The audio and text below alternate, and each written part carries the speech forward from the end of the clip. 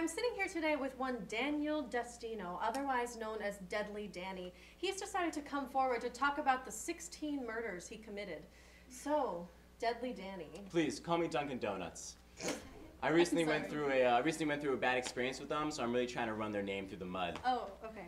Um, so, Dunkin' Donuts. What led you to commit these crimes? Well, I just really like watching life leave a person's eyes. Huh. So you enjoy killing. Yes. They say that one of the most beautiful things you can ever watch is your own death. So I kill others to reach that. I'm sorry, who who says that? Oh, um, I do, I guess. Right. Yeah. Right. Well, um, I don't uh, take the word of a racist, so Hold on, what? I don't I don't take the word of a racist. A, racist? Who, who are you calling a racist? You. No, no, no, no, no. I'm not a racist. I'm a serial killer, like a stain on humanity, a, a scumbag. But I ain't no racist. I mean, come on. So so what you're saying what you're saying here is that you're you're a closet racist. because knowing that, I would think that you would be more lenient towards the LGBTQ community, but um, obviously not. LGBTQ. What do they have to do with this? You're obviously homophobic. Okay, all right. This needs to stop. It's getting offensive. I mean, what what what led you to commit these hate crimes? Hate crimes? No, no, no. You got it all wrong. They're heinous crimes. They're not hate crimes.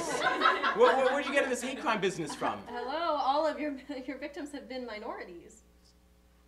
Really? All, all, all, all of them? Yes, all of them, and they've all been members of the LGBTQ community. Okay, come on.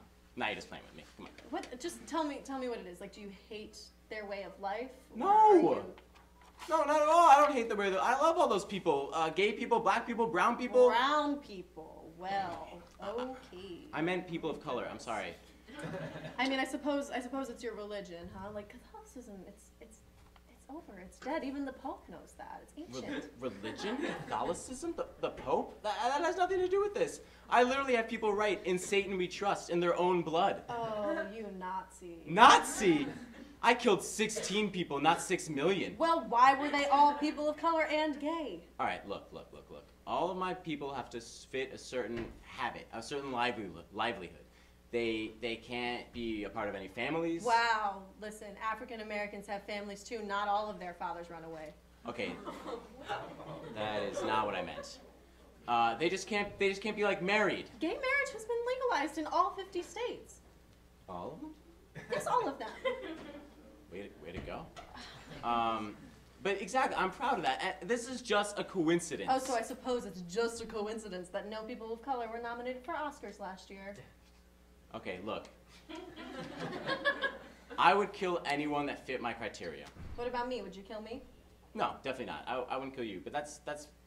See, see, you're a racist and a homophobe. Only Black Death matters to you. No, no, no, no. All death matters to me. All right. I've been very clear about that. All death matters to me. Okay, so then why wouldn't you kill me then? Because you're a woman. I'm a sexist. I just can't stand them. I don't even really. I don't even want to stand watching you die. All right, we're done here. Thank you.